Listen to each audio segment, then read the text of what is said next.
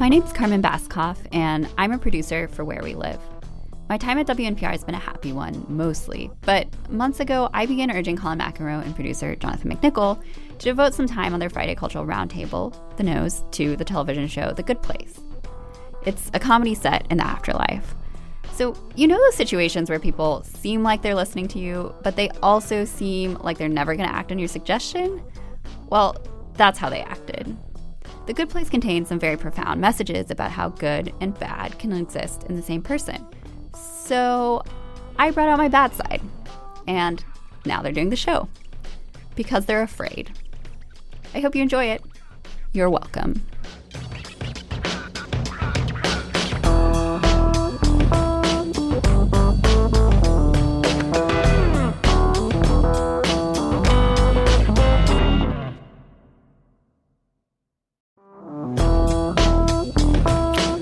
So, uh, welcome to this uh, unusual episode, uh, an episode which has an unusual genesis, as you might have heard in some commentary that ran before the news. But if you didn't hear that, what happened was that uh, Where We Live's producer, one of the Where We Live producers, Carmen Baskauf, quite some time ago, I'm not exactly sure how long ago, first approached us and said, you know, you really ought to talk on your nose, the Friday Cultural Roundtable, the nose, you ought to devote a segment to The Good Place and uh, neither I nor Jonathan McPants, the producer of said show, had ever seen The Good Place. And we kind of did that thing, you know. It really is true that, yeah, okay, yeah, that's okay, and and that didn't actually work somehow. It's just such an incredibly good technique most of the time. And Carmen just sort of kept coming back. And although Carmen is you know, I think uh, um, ordinarily kind of an introvert. She might even be the biggest introvert on our staff, and that's really saying something because there's just almost wall to wall introverts. She it turns out she has a very forceful side that can even start to sound a little bit menacing, maybe because she's ordinarily you know, so reticent. So uh, at a certain point, this tone crept into her voice after we'd blown off this idea like six times. and, and, and thank God because, or thank somebody anyway, because uh, The Good Place is an amazing show, which, you know, once we started binging it and we we understood exactly why she wanted us to do this, and so that's what we're doing today. The whole show, in fact, is going to be about the good place. Uh, in studio is uh, are in fact two voices very familiar to listeners of this station: Susan Bigelow, librarian, columnist for CT News Junkie, and a science fiction fantasy novelist; Rebecca Castellani, director of venue operations and tour marketing for We Save Music. Um, also joining us uh, by Skype right now is Sam Anderson, uh, a staff writer for the New York Times Magazine. His piece about the good place in last year's Culture issue is called The Ultimate Sitcom. Uh, and uh, we should also say that uh, Sam's recent book, Boomtown, the fantastical saga, saga of Oklahoma City, its chaotic founding, its purloined basketball team, and the dream of becoming a world class metropolis has essentially nothing to do with the conversation that we're going to have. But then, you know, it's it is there. Um, so, um, so I, I, think first of all, for those of you who are coming in cold on this.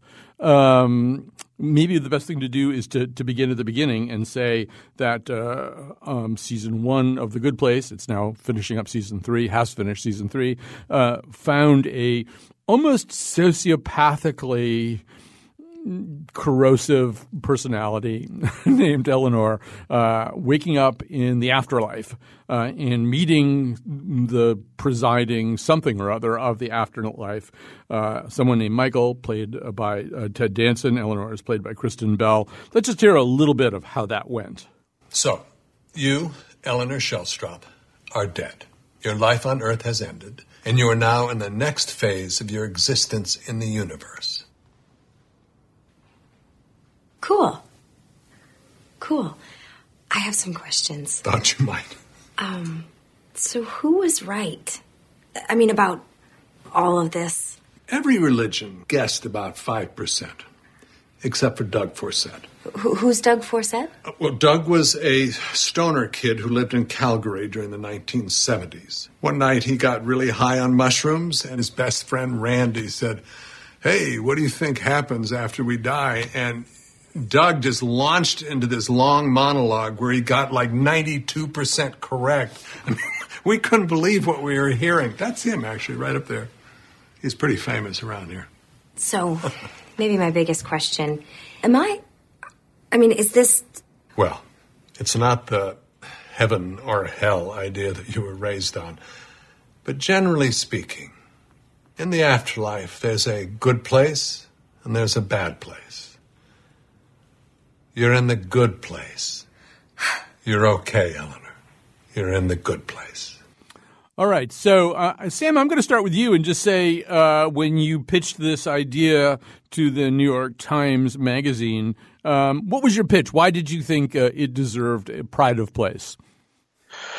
Um, because the show blew me away. I mean, my story was kind of like yours. I had not heard of it, um, and I think it was deep in the second season, and I heard about it on a podcast. Um, and it sounded right up my alley. And so I started watching it, and soon I roped my wife in, and, and we watched the whole first season. And then we roped our kids in, who were 14 and 11, and we all binged the first season again, and then the second season. It was just like nothing I've ever seen on television. And to me, it was like, I mean, it's just one of those kind of magical, like near perfect works of popular art, I think. And it hit on so many levels that television shows and especially sitcoms don't really get to.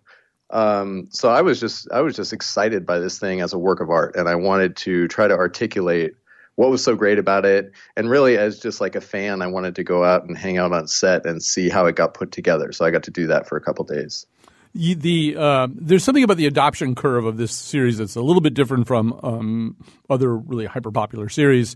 In a way, it kind of reminds me of Hamilton in the sense that you know if you say no, it's a musical about Alexander Hamilton, you know, and it's mainly you know in hip hop and stuff like that. I'm, that doesn't sound like a very good idea. And there's actually kind of a Hamilton joke uh, in The Good Place. But if you try to describe The Good Place to somebody, it doesn't necessarily sound great. And that may be why it takes people some time to get to it. I think both of our in studio uh, people have had kind of the same experience. In fact, Rebecca, you sort of started, faltered, and started back up. Yeah. Uh, in my household, I am the dark TV watcher, and my partner is the light TV watcher. You like the murdery shows. I the more murdery, the better. And so I don't really go in for sitcoms typically. And my boyfriend was watching it. I believe he watched the first episode right when it came out, and I really didn't respond very well to it. I was sort of half watching, not really.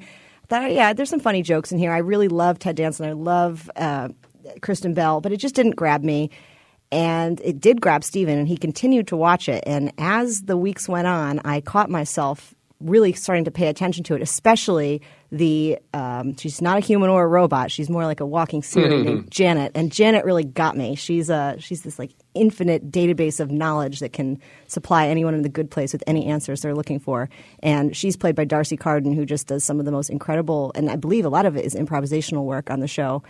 And I just started to fall in love with it. So I started back at the beginning and went all the way through the first season and I've been a loyal viewer ever since. Yeah. What about you, Susan? So my wife and I, we had finished our marathon, years long watching of all of Star Trek, um, and we were looking for something new to watch. And everybody had been talking about this show. And it's like, oh, okay, uh, we'll give it a try. The premise sounded kind, it did sounded kind of flimsy.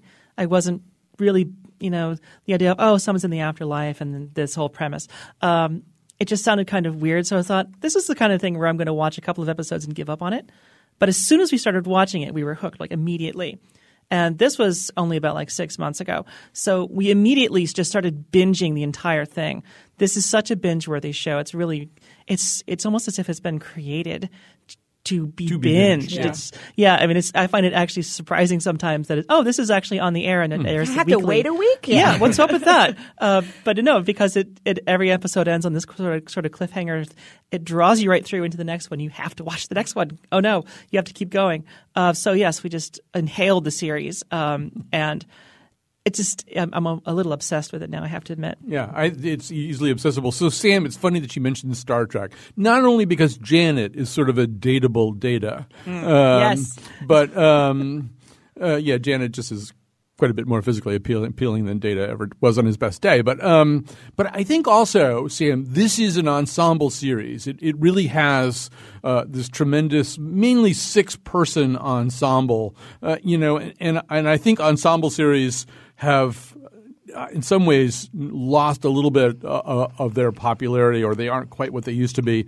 Uh, uh, but I would argue that this is perfectly balanced. You know, you've got Kristen Bell playing this, you know, mostly unrepentant chronic sociopath. You've got an indecisive philosophy nerd drowning in scholarship, a name dropping, humble bragging supermodel, super rich giantess, a shrimpy dopey swamp city gamer with tremendous joie de vivre. You've got Janet. We already talked about her, and, and then the extraordinarily complex eternal being who is ultimately neurosis ridden and is always in just the right amount. In addition to being Michael, one of the things I love about this performance is he's never not Ted Danson. There's sort of a way in which he's always a little bit Ted Danson, but just enough. But you know, Sam, I don't know what the vibe was on the set. Well, I do a little bit from reading your article, but this seems like a really perfect kind of ensemble.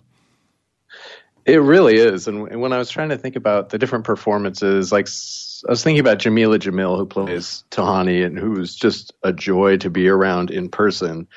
Um, and I was telling someone about it. I was kind of like, well, she really, she's the standout performance. She really steals the show. And then I think, oh, wait a second. No, there's Janet, D'Arcy Carden. She kind of steals the show. And actually, Ted Danson really, I mean, and you can go through the entire list of mm-hmm. actors and characters here, and everyone um, is unique and irreplaceable and kind of pops out of the landscape of the show. I mean, and on set, it, it's just a love fest. I mean, um, you know, I went in kind of uh, a little skeptical of that because you hear that from a lot of different creative teams working together. But I think this is a special case because the creator of the show, Mike Schur, is famous in the industry for um, this policy of hiring, which is uh, I mean, the, the cleaned up version is no jerks. He vets people to make sure that there just aren't any toxic personalities around, no matter how talented anyone is, um, from the leading star to the the people who are doing the tech side of things.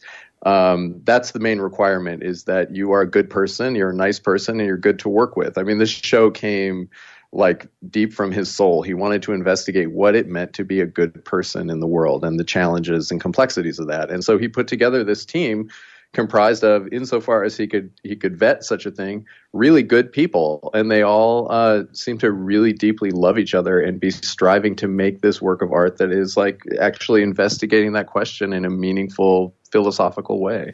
You know, I should point out that Michael Schur, the aforementioned creator of the series, grew up a roughly eight minute drive from where we're sitting right now. Um, wow. And uh, and there apparently is some uh, inspiration for some of his uh, series. I, am not sure about this one, but he also was co founder of Parks and Rec, and he apparently based, I think he based Pawnee on Simsbury or something. I can't oh, remember really? the whole thing. Yeah.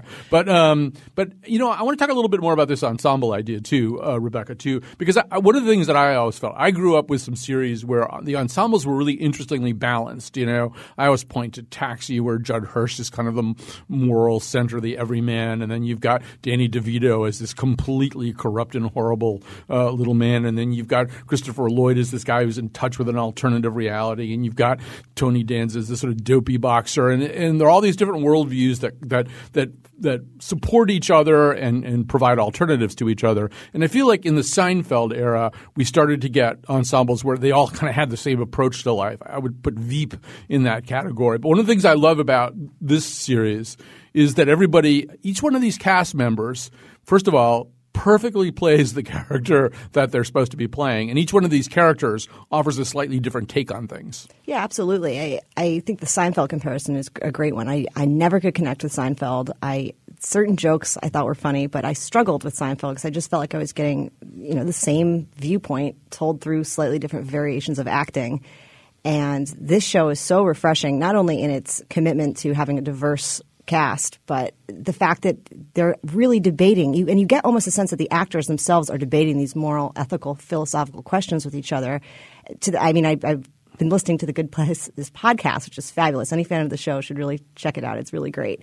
And Mike Schur was talking about how he makes these packets with all the dense philosophy, and will give them to the actors, and they'll read them, and that becomes that informs their performances to this very intimate level. And I, I, think that the fact that they're all kind of attending to it with their own humanity, in addition to the acting that they've been given, is just fabulous. It's it's really a wonderful, unique setting for a sitcom. Susan, I think another thing the series does in a really interesting way is blend high and low humor. Now, the high humor couldn't get higher. I mean, it's theological in nature, it's philosophical in, in nature. There's a tremendous reliance on on everybody's liberal arts uh, education, uh, so that you know that the book being slid across the table is by Martin Heidegger or something. But there's also because all of these people are reprobates. There's a lot of really funny you know, sex jokes and body type jokes and dumb guy jokes Oh, and yeah. regional jokes that are absolutely kind of as about as low as they get.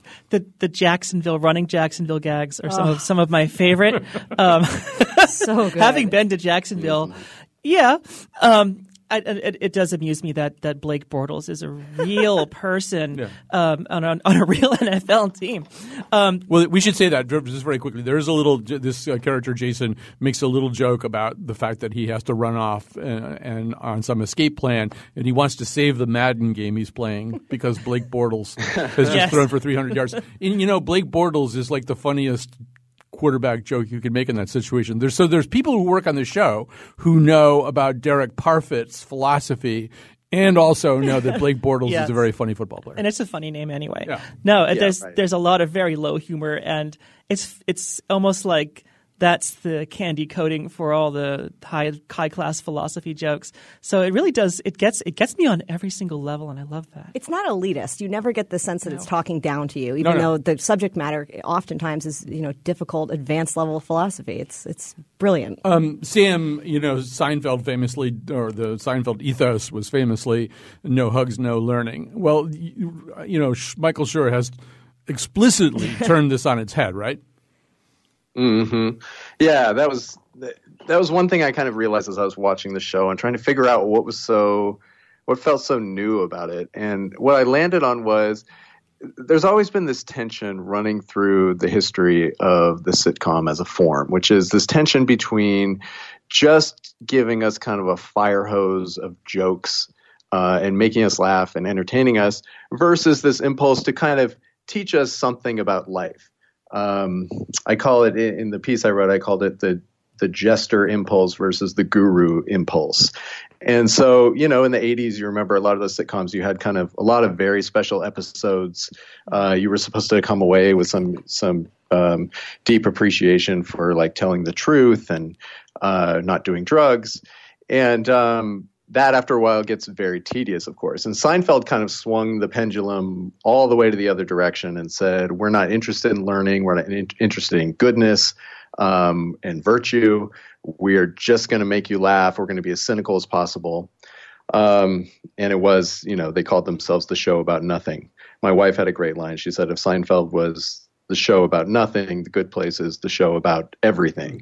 Because The Good Place takes that tension at the heart of the sitcom and it makes the entire show about that. This is a show that is explicitly about learning. And we should say, maybe just to set it up, like Eleanor, who is this, as she calls herself, Arizona trash bag, um, and just like kind of the worst person you've ever seen, um, is wrongly placed in the good place she discovers.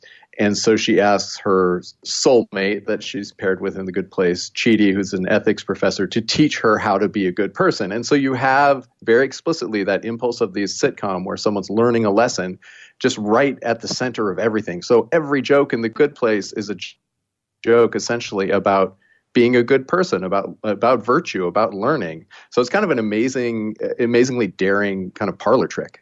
We should say one more thing, uh, without which you will not understand other things that get said here, which is that one of the conventions of the show is that in the afterlife, well, Eleanor in particular, the Arizona trash bag, has a real potty mouth. The problem is in the afterlife, everything that you say, uh, if in fact it is a, a vulgarity or a profanity, uh, is automatically adjusted. So it comes out of your mouth in a completely different way. Uh, here's kind of a little s- sense of how that sounds. Somebody royally forked up. Somebody forked up. Why can't I say fork? If you're trying to curse, you can't hear. I guess a lot of people in this neighborhood don't like it, so it's prohibited. That's bullshit. What the fork? Who are you? Too high. Rude, condescending bench. Okay. All right. Okay. Things only started getting crazy after I was an ashhole to everyone at the party. Ugh! You know I'm trying to say ashhole and not ashhole, right? I got that, yes. Okay. Yeah. We're forked here, aren't we? That Tahani is a real butthead, huh? Hey, at least I can still say butthead. Oh, she is a butthead. Ow, fork me. So, um, uh, just we're going to take a break here in just a second here, but I, I, I, have already gotten a sense uh, from Sam that uh, that Tahani has uh, seduced him in any number of ways uh, and, and have become kind of maybe a favorite of his. Uh, but there's a way also, as Sam also said, everybody's your favorite character because the ensemble works so well. I don't know, Susan and Rebecca. Susan, are you particularly enamored of any particular character? Oh, I couldn't do without Janet. Yeah. Uh, I do love Janet. I, I also really, surprisingly, I, I love Jason. Mm-hmm. Oh, I do. Uh, I, he's just so, he's so pure in his way. Uh, I yeah, it's, it's well in, in, that in that sort of ensemble balance. There's an awful lot of uh, cynical characters uh, and self-seeking characters. Uh, Jason is the one who, as I said before, has an incredible joie de vivre, which I think helps feed the balance of the ensemble. And you're a Rebecca, uh, you're a no, you're a Janet person, Rebecca. Yes, or a Rebecca much. person, Janet. I mean, that's a very high compliment. yeah, no, I'm definitely Janet is steals the scene. Every scene she's in just runs away with it for me. But I do agree with everything we've been saying about the ensemble cast. I've never related a across the board to, and enjoyed so many characters. Just, there's really not a weak spot on the cast. I can't think of anybody that I would say even the ben- level beneath ensemble. The, the recurring characters that appear maybe once a season are fantastic. The I don't want to give anything away, but there's just so many wonderful, wonderful characters. All right, so uh, we're going to take a quick break. Uh, we're going to come back. We're going to add a character to our ensemble, uh, and we're going to keep talking about the good place.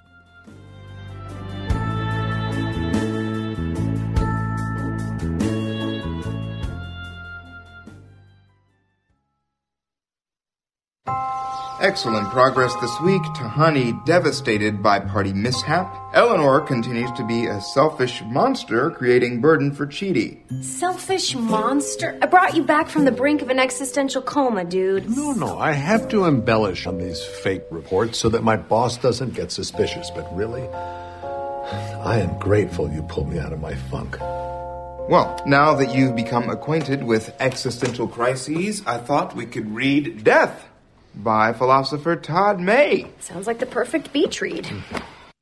All right. So, a philosopher getting name checked uh, on the good place. I'm Peter Singer is probably on the phone to his agent saying, "How do I get this?"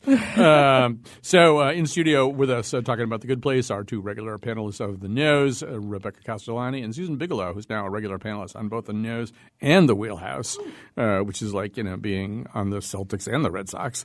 Uh, and Sam Anderson, staff writer for the New York Times, did a piece about the good place in last year's culture issue. It's called "The Ultimate Sitcom." Now joining us is aforementioned name-checked philosopher uh, Todd May, a philosophical advisor on The Good Place. His most recent book is A Fragile Life Accepting Our Vulnerability. Uh, Todd May, welcome to the conversation. It's good to be here. So, um, maybe just begin by telling us uh, how did you become affiliated with this show? Well, it, actually, it was quite by accident. Uh, one of the writers, Dan Schofield, uh, had read uh, my little book on death, uh, recommended it to Mike Schur. Uh, Mike read it. Uh, uh, apparently, uh, it caused tension in his marriage because his wife found him reading it at night. It's a it's a little book with a dark gray and a raven on the color. Uh, uh, so it's not the kind of book that you generally bring to bed. And in any event, uh, apparently the marriage outlasted my book. So later he called me up or he emailed me and said, are, are you interested in talking about this a little bit? Uh, we Skyped for a couple of hours, and then the one thing led to another. Uh, Skypings, uh, meetings with uh, the writers, uh, and then uh, several videos. Maybe you can say a little bit more about. I mean, it, it, we've tried to convey the the role that academic philosophy, that moral philosophy, plays on this show, and it, it is both steeped in it in terms of plot, and but also layered on mm. in a very direct way. And I mean, I do. I think it's in the first season and maybe one of the first couple of episodes. This character Chidi, who is a professor of moral philosophy or was until he died, uh, is doing a little dry erase board lecture, and you can sort of see kind of through his armpit uh, the last name of Derek Parfit. Well, that's. Mm-hmm. That's kind of, you know, that's going a little bit up the bookshelf. That's not Aristotle or a name that everybody would know. it's sort of a signal that no, they're going to they're going to go deep on this, right? Right. Well, and I think one of the things is they have issues that they want to discuss, things that they're thinking about stemming from what you talked about earlier in the show, which is Mike's attempt to want to think about being good. So the issues lead them to the philosophers, and the philosophers, the, whoever it is, is going to be able to respond to that issue. And Derek Parfit writes a lot about identity, about what it is to continue to be a self. And, and when you think about the show this way, th- these are people who are selves who have died, who are now in another dimension, who come back uh, into the secular world as selves. So how are they going to think about their identity? And that's an issue that really comes up in the third season, which will lead them to a philosopher like Parfit. Um, I want to ask the in studio panelists, particularly uh, maybe Susan, you in particular, because you really have been binging, and I've been binging a bit too. Do you find that the kind of frame of this show kind of creeps into your, your real life decisions? I'm finding, you know, because oh I've, I've, yes. yeah, I've, do, I've done nothing but watch the show in my spare time, and now everything I'm looking at everything through that lens all of a sudden. Seriously, no, I've, I've, I suddenly find like the, the philosophy of the shows and what does this mean to be a good person in this case? And, and if I do this, does that it has all these unintended consequences? And um, sometimes I find myself in a Chidi like panic where I can't make a decision. So thanks. Um, but no, I, I actually do uh, because I like to think about this stuff. This is interesting stuff to me. The thinking about what makes a good person, what makes a moral person, especially especially today. Um, I find myself thinking about the show and its connection to everything else that's going on in the world. Um, how do you be a good person in this in such a complicated world? How do you be a good person when everybody around you seems like they don't care anymore? It's it's uh, it's it's good that way. It gets me to think about this stuff. It's really really useful. Yeah, Rebecca, how about you? Is, is there kind of an afterburn going on? No, I absolutely think even when a season ends and I'm left with this gulf in between seasons, I find that I'm thinking about the show a lot. Usually a show ends and I'm done with it and that's that and close the book and I don't think about it until it restarts again. But this definitely carries over with me. I think it's important to note that the way they determine whether you get into the good place or the bad place is based on a point system. So I definitely find myself thinking, like, do I really want to listen to the Red Hot Chili Peppers right now? I could lose some points. So Um, yeah, you know, I was, I was wondering. I wanted to ask both Sam. Uh, well, for, uh, we'll start with Sam. Um, you know, I, I don't know how much of this uh, Michael Schur was sharing with you, but it seems to me that yeah, obviously there's kind of a kind of an adult learning course going on in this show for both the characters and us watching it. But it seems to me also that there are some things that are going on on a much more plot and character driven level that are also, uh, in an unspoken way, explorations uh, of philosophical and I would say theological questions too. Uh, I, don't know if if what I'm saying is resonating with you at all, Sam. Um, well, I think what you're saying is, yeah, we have these explicit references throughout the show, um, often in the form of jokes, but often in form of little explainers of of the works of famous philosophers and and not so famous philosophers. But you also have, on a much deeper level, um, right? These idea, those ideas woven into the fabric of the show in ways that you know, let's say Chidi was there was no character of Chidi who's teaching another character moral philosophy. It would still be a show if it had these plot elements that was deeply about moral philosophy. Um, so they're really they're they're referencing them explicitly, but they're also really trying to explore through storytelling um, the borders of these issues of what it means to good be a good person, what it means to depend on other people. Um, you know, is it is it the same thing to be a good person as to want to be a good person? Uh, are those things in conflict with one another? You see these played out in the choices that the characters make, um, and I think as the show progresses, um, you get this really beautiful lesson in interdependence. Um, one of the other academic philosophical books that comes up quite a lot is um, a book by a philosopher named T.M. Scanlon called What We Owe to Each Other. Um, and that's really an idea that a lot of the action in the show orbits around is what what do we owe to each other um, and the characters as they become better people um, start to orient themselves more around the obligations that they have to other people rather than just their own particular fate and point totals You know, Todd, I have so many questions about all this, but maybe I'll start with one. You know, when it seems like every time I read an article uh, about this or listen to a conversation like this one, um, I hear the word philosoph- philosophy or philosophical.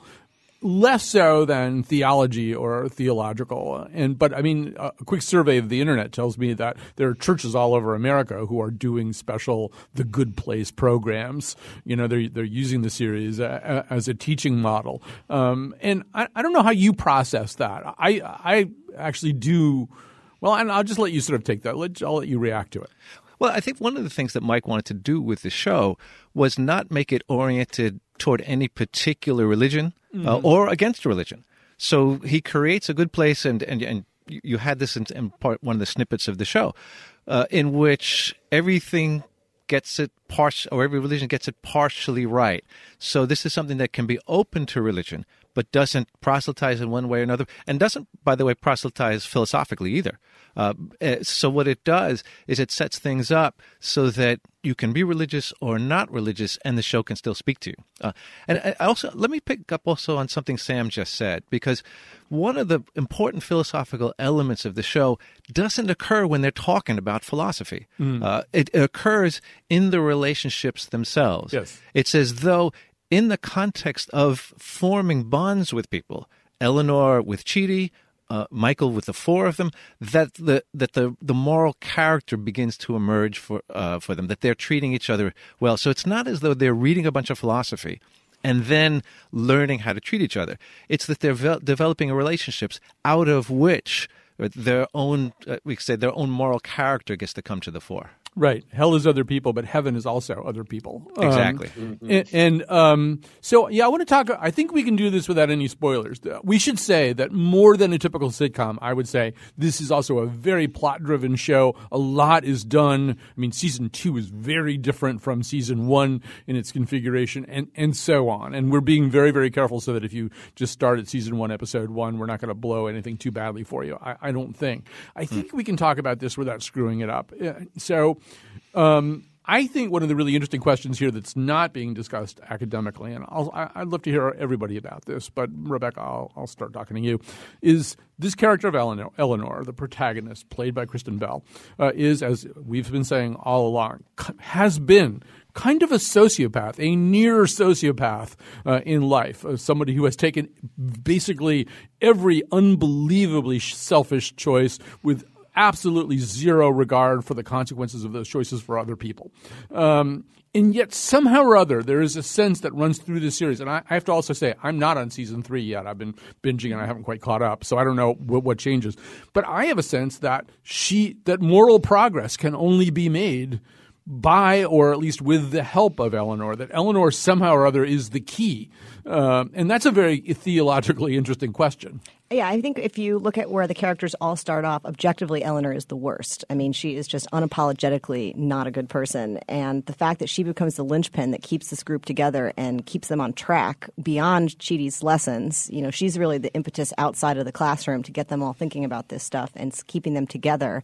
I think that's a very interesting character development because she doesn't ever fully divorce herself from some of her more odious tendencies. She, you know, she's not not like she suddenly starts taking moral philosophy classes and is perfect. She really struggles with a lot of this stuff, but in her struggle, it allows the other characters to kind of get in touch with the parts of them that aren't maybe not so moral. And I, I think it's definitely very smart to position Eleanor as that that linchpin for the rest of them. Yeah, there's some sense, Susan, that morality is something other than perfection. That's true. Um, that perfection seems like it's completely unattainable. Mm. Um, but morality is is all contained in your actions and your relationships with other people. Uh, and I, I, love how that sort of grows throughout uh, the first season and then again in the second season and, and going on and on. Um, how these people cannot get any better without each other. They need each other. They need these relationships in order to uh, become more moral and more sort of fulfilled and happier people in a lot of ways.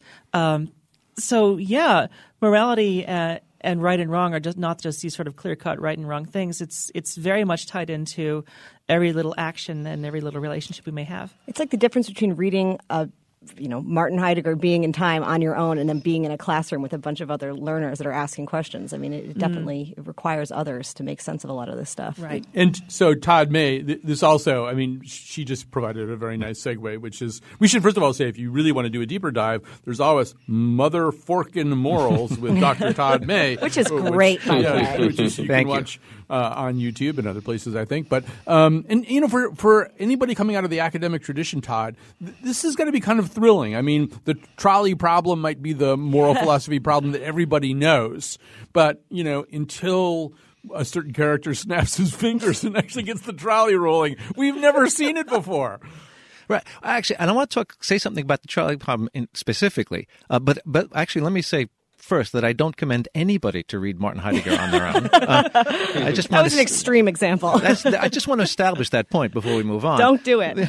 um, but but the trolley problem is interesting because in philosophy it tends to be talked about as though it were a uh, an abstract issue. Uh, and what's great about the show is by placing Chidi in it, he now all of the emotional components come out that often get lost in philosophy. And I asked Chidi during one of the podcasts whether being in the trolley made the problem feel different for him. Right. And he said, aside the fact that they were shooting carob syrup into his mouth, right, but that, that in fact it did feel different. Uh, and uh, one of the things that sometimes gets lost in academic philosophy is the emotional component because people go abstracted in their head. And the show brings that out without you know forcing it. I was going to say forcing it down your throat which would be a terrible thing given what I just said. Yeah, I, I Sam. I, once again, I keep coming back to that idea that really, in, in all the ways that everybody else is talking about right now, this show connects, you know, pretty abstract concepts to real humanity, uh, which is what great teachers do too. I mean, I think about you know books like Sissela Bok's books on lying and secrets. You know, you can read those books and absolutely understand your world better. There's nothing abstract uh, about it, or very little that's abstract. I, I don't know w- what your your visits to the set or your conversations with the performers have told you about that. Yeah, um, I keep I keep going back to this idea. One of the things I came away from, um, we were talking earlier about the nature of morality and it being not an issue of it's not an on-off switch, um, and it's not about becoming a perfect person. Um, and I think the most powerful idea that I left with is very simple, and I write about this at the end of my piece. But it, the third season really pivots around this idea, and it's simply the notion of trying. And it's just that word, which is so powerful to me right now. And Mike Schur talked a lot about um, that in this kind of endless firestorm of conflict and scandal and compromise and distraction, uh, in the face of your own failures and the failures of the people around you, um, the really heroic thing on a moment to moment, day to day level is just trying. You just try your best, and it's so hard to do. Um, and that's something I saw on set. It was kind of it was fascinating watching them put this show together because I don't know if any of you have ever been on a sitcom set. It is an alien world. I mean, it's just a different.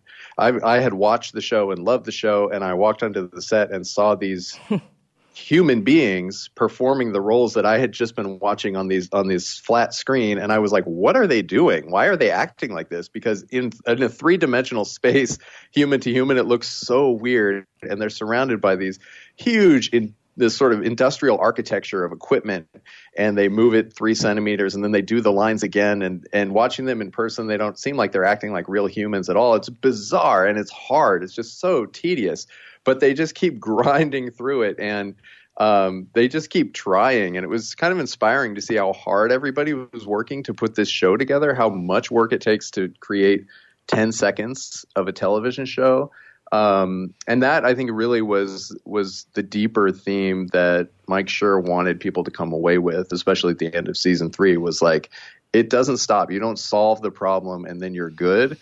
You try and you grind and you and you get through the slog moment by moment every single day. I've found that really inspiring. Um, I want to talk about one more thing that kind of surfaces in, in season two, I think, uh, and uh, Todd, uh, that is this notion of this still small voice, to use the Latter day Saints term. But uh, let's hear uh, how Eleanor talks about it. This would be B2. You never once stop trying to become a better person. And I just. Why? I don't know. I mean, whenever I would do something crappy on Earth, there would be a little tiny voice in the back of my head that would say, Eleanor, don't grab that handful of olives from the salad bar. You know, you didn't pay for that. Or, Eleanor, don't spit those olive pits onto the floor of the grocery store. That's not cool. Or, Eleanor, that old man just slipped on your olive pit and he fell down. Don't use the fact that everyone's distracted to go back and steal more olives. I get it. This ethics stuff, it's hard and it's confusing. It is such a buzzkill. But it does get rid of the little voice because at least I'm trying to do the right thing instead of the crappy thing. And and I gotta say, man, I don't miss the little voice. So, uh, Todd, we're back to Sam's idea of trying uh, Mm-hmm. and that notion that maybe we do have some kind of built in moral capacity. Maybe you could say what, what you see Michael Schur doing with this. This is actually a fascinating moment in the show because a lot of the show does try to take up philosophical positions and views that are already there. This is a case where Mike's starting to put his own cards on the table. Uh, he he said he believes that we do have a voice of conscience that that sometimes orients it, us and that we listen to it at times and then we don't listen to it at times. And one of the issues that, that, that comes up if you're thinking about this is where does the voice come from? Is it built in? Uh, is it the case? Of, well, there's an ancient philosopher, Mencius, who thinks it's a built in voice. There are other philosophers who think, no, no, no, it's not that it's built in, it's that we have sympathy for people around us and then that gets extended to people we don't know.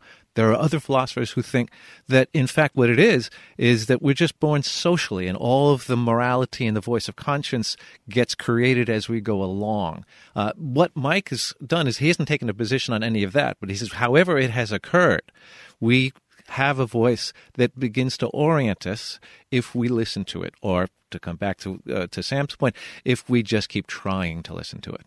All right, we're going to uh, pause there. Uh, we're talking about The Good Place. Uh, season three has just ended. You've got plenty of time to catch up. Uh, I don't think I think we've done a good job talking about a lot of aspects of this show. I don't think we've successfully conveyed how forking funny this show is. I mean, it's really, really funny, like laugh out loud funny every episode. So if that got lost in all of our high flown uh, contemplations, I don't want it to.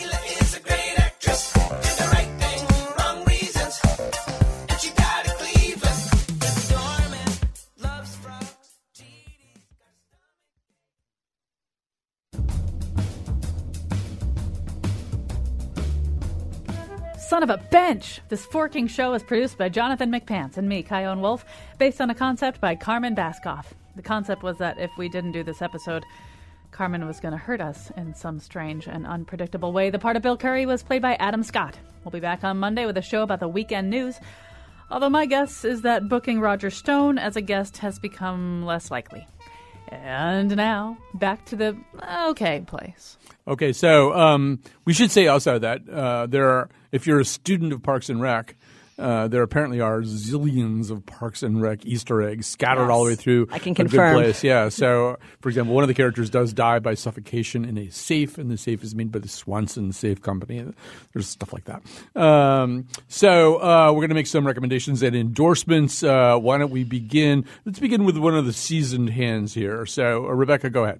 So I have a couple documentaries for you this week. Um, the first is the literal embodiment of the bad place if you are a rich millennial, and that is the Fyre documentary on Netflix, The Greatest Party That Never Happened. I was aware of this story when it came out, as I'm sure most of us were. This documentary is something else. You uh, you will laugh and you will cry and you will feel all sorts of strange feelings. So I highly recommend it. I don't necessarily think it's a good thing, but it's it's worth watching. And the second one, which just blew my mind, I was on the edge of my seat for, was Three Identical Strangers, which is on Amazon, and I believe it's airing next week on uh, primetime. So highly recommend both of those: Three Identical Strangers and Fyre: The Greatest Party That Never Happened. Yeah, we did. We devoted an episode of the nose to the latter one when it came out in um, theatrical release, and there's a lot of talk about maybe doing uh, the Fyre one uh, on the nose. So, uh, uh, Todd, why don't you go next? Uh, do you have a recommendation for us? I, I do, but now, I, let me say this to start though. When a philosopher makes a recommendation about stuff in popular culture, I just.